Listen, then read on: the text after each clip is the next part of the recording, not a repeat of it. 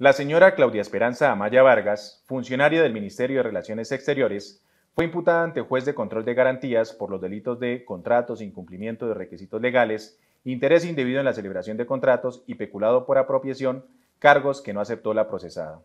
En la investigación adelantada por una fiscal de Administración Pública de la Dirección Seccional de Bogotá, se advierte que la procesada posiblemente se concertó con un particular y otro servidor público para asumir funciones de sus superiores otorgando paz y salvos sobre tres contratos que no fueron ejecutados. Como consecuencia, la entidad sufrió un detrimento patrimonial de 399 millones de pesos.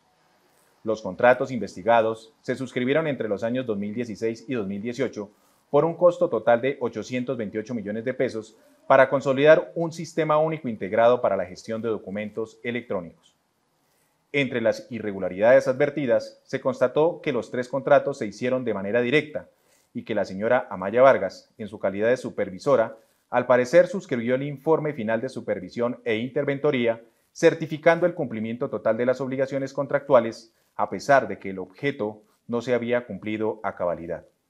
En el mismo marco de este proceso, serán imputados también otros particulares y funcionarios del Ministerio de Relaciones Exteriores, la Fiscalía General de la Nación habla con resultados.